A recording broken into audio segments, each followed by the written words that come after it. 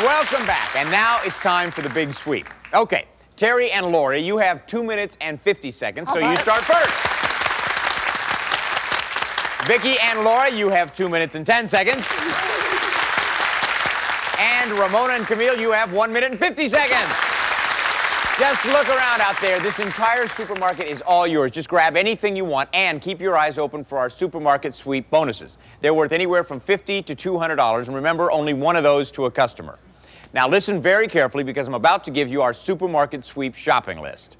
Remember, you can pick up an extra $250 if you bring back all three of these items, right? Okay, so listen very carefully. I can only tell you once. They are Job Squad paper towels, Old Spice aftershave, and Mrs. Smith's cherry pie.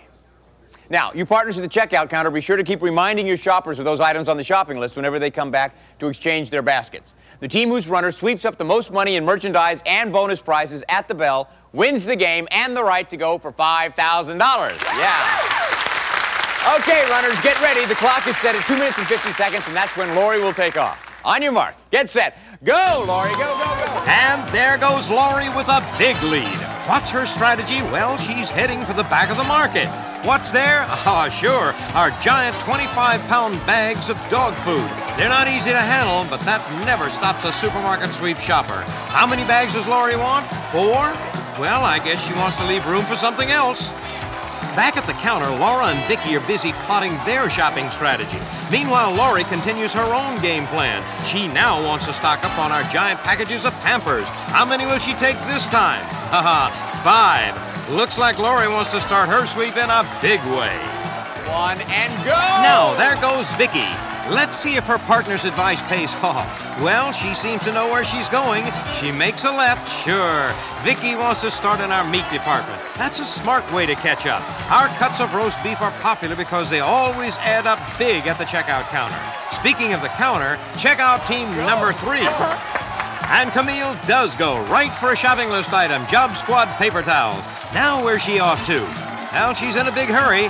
She heads straight into the health and beauty aid section. Looks like she still has shopping list on her mind. She's trying to find the second item on our shopping list, the Old Spice aftershave. In a section this large, it's not easy to find, but it's there, Camille.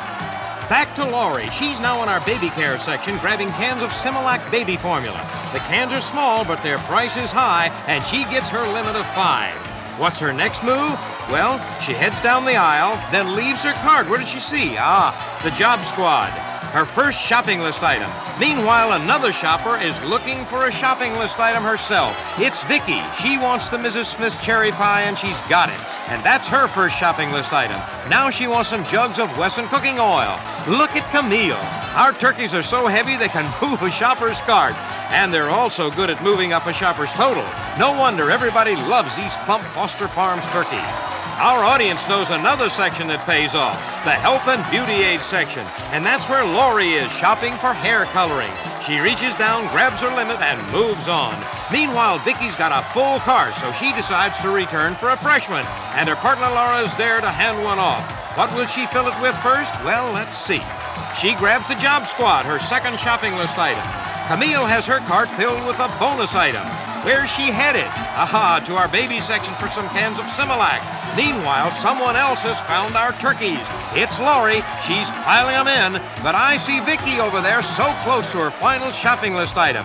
Yes, it's the Old Spice, good for an extra 250 bucks. And just in time, because we are running out of time.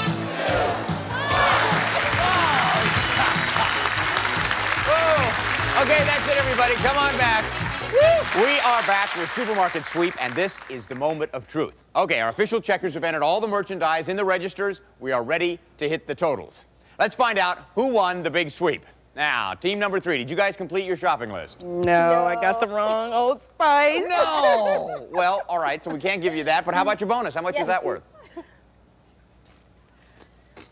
Fifty dollars. There you go, okay. So that means you guys are starting with $50. Good for you. Now we add your groceries onto that, and that gives you a grand total of the day for $376. Good for you. Okay, team number two. How about that shopping list? Did you Yep. get everything I wanted? They're all three. Good. That's $250. How about a bonus? No. All right, so you're starting with $250. And we add your groceries to that, which gives you a grand total today of $922. Boy, there was some good shopping.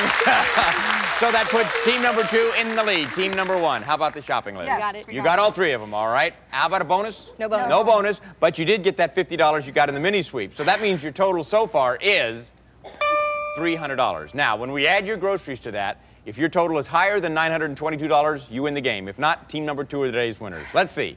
Your grand total is $896. Team number two wins the game.